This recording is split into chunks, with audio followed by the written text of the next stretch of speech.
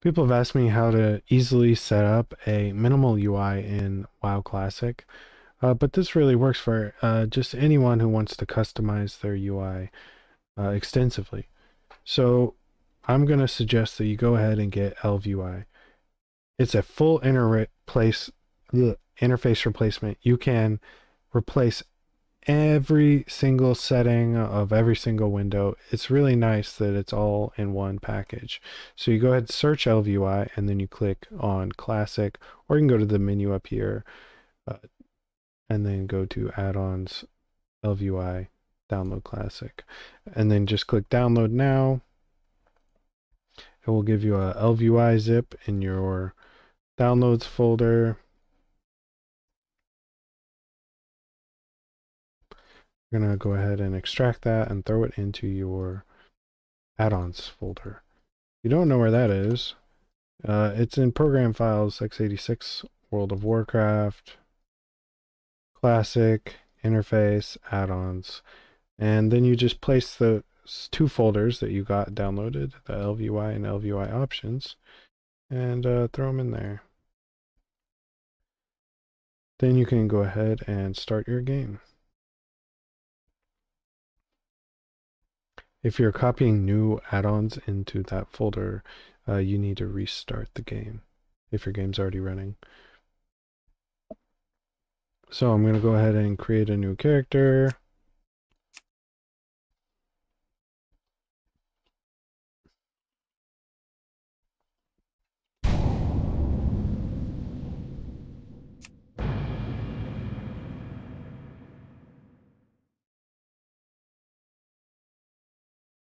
The eccentric often.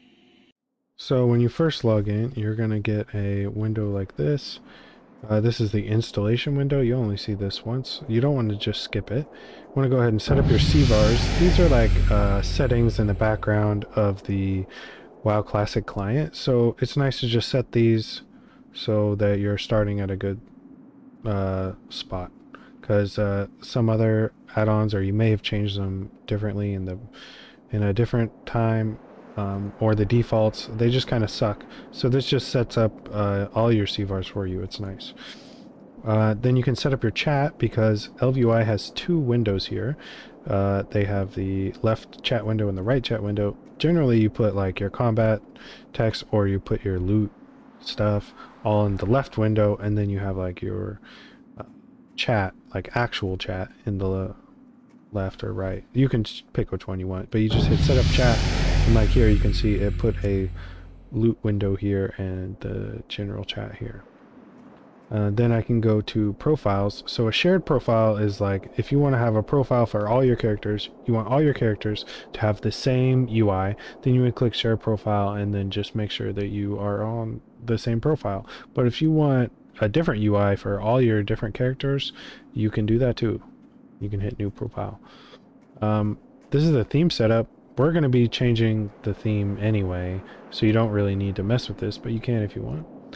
Uh, the auto scale UI, or the UI scale, you can uh, change the size of everything in the UI, which is nice. So if you're a grandma playing this, you can make everything way big, and it's a lot easier to see now, yay! Or if you're a zoomer, uh, and you want everything tiny, you can do that too. That's really nice. It's just one setting and it changes everything. Um, then you have their default layouts. You can pick them if you want, but you don't really need to. Uh, you have aura bars and icons. If you want bars with uh, your auras, click this. Otherwise, just don't click anything. You don't need to. Uh, just hit finish here, and that will make that installation window go away and it will just finalize all the settings. Um, and then you can disable this tutorial window as well. So now that you have your ElvUI set up this is just the basic look. It looks okay but as I said you can change everything. So let's go ahead and hit exit and we can go to our ElvUI options window. This has everything for ElvUI in it. Um, let's go to profiles first because that's uh, profiles hold all the settings for uh, the UI in one one like group of settings. So right now I'm on the default, but I can always change to different profiles if I want to. And so when I make a new character, if I wanted to be on the same profile as all my other characters, then I could do that. Or if I wanted my own, or if I want to be on default, then I can. Or say all my warriors have one profile, or whatever.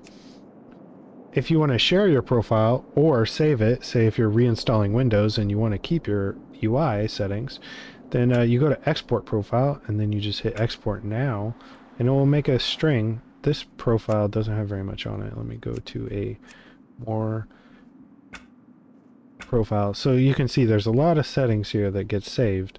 Um, this just compresses it all into a text string so uh, it's uh, easy to share. So I can just copy this out and then save it on my drive or share it with my friends in email or whatever. Um, and then also you can go to import profile and then just paste any uh, profiles you get from friends or from the web and you can import all those settings. So let's go ahead and do that now. There is a site called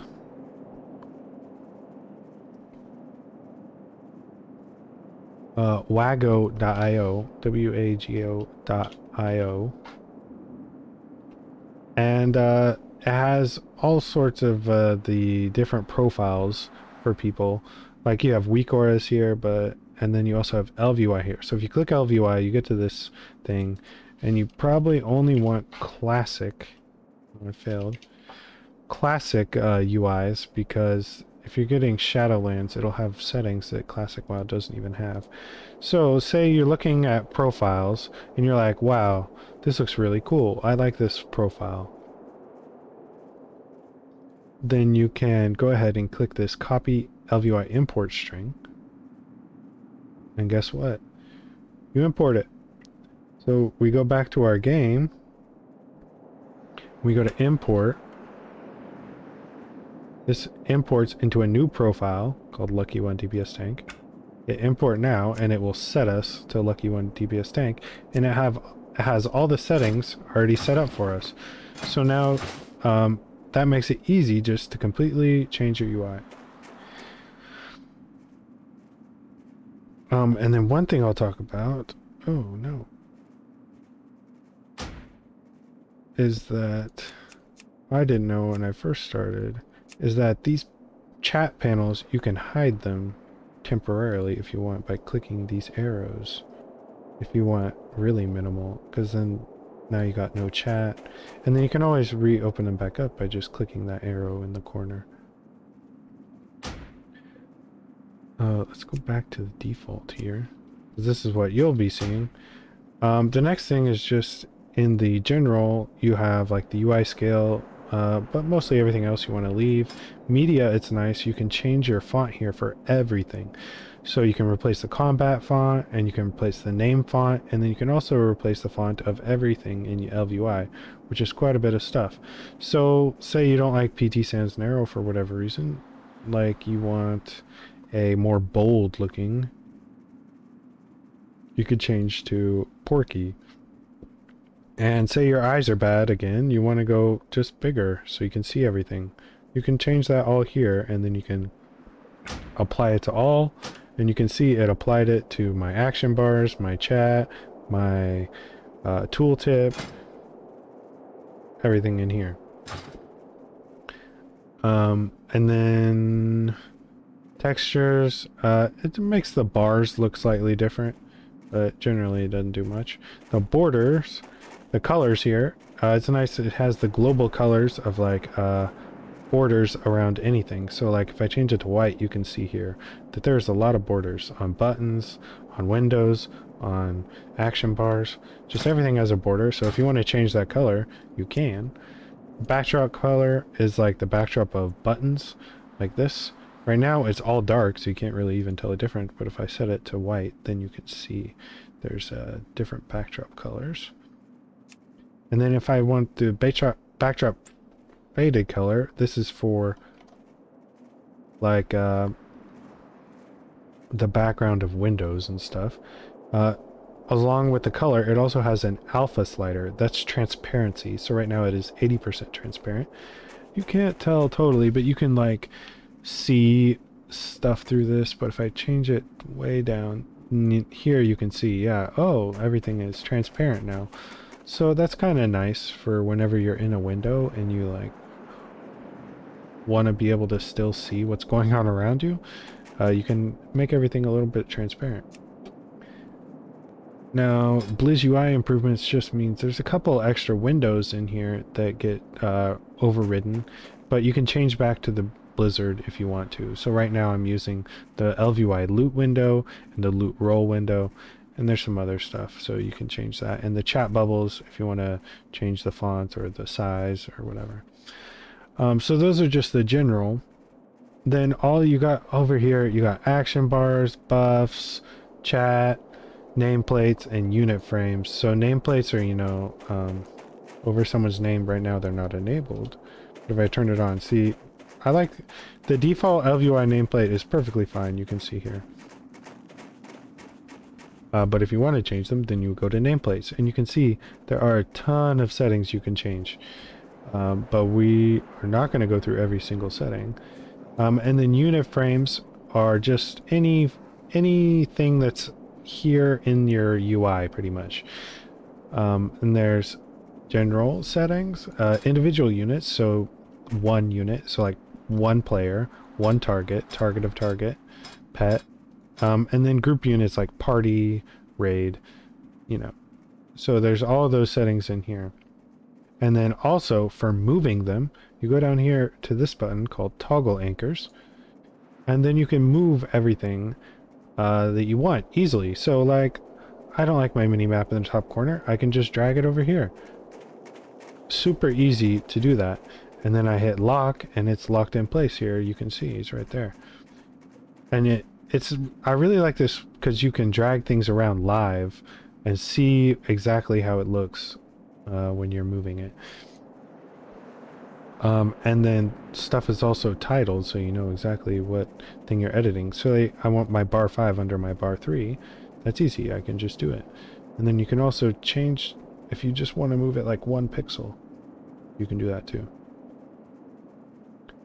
So say I want my player frame to be more under my player and in the middle, then I can do that. And I can hit lock, and then there, it's right here. Um, and then one other thing nice about this frame, this toggle anchors uh, thing where you can move everything, is also if you forget where the settings page is, so like minimap, oh I forgot where that settings page was. If you right click it, then it will open the settings for this page. So that's really nice. So like bar one, oh, I want to open the bar one settings. So now it opened the bar one settings for me by right clicking. So that's pretty nice. So yeah, I'm not going to go through everything, but that's pretty much just how to get it installed and get it set up. If you don't want to go through and edit every single thing, then I would suggest just going to Wago and looking at a profile that you like and just importing it um, and then selecting it like this is my default UI that I keep on all my characters. Um, and I have it uploaded on my Go in case you want to look at it. But that's about it. Thanks for watching.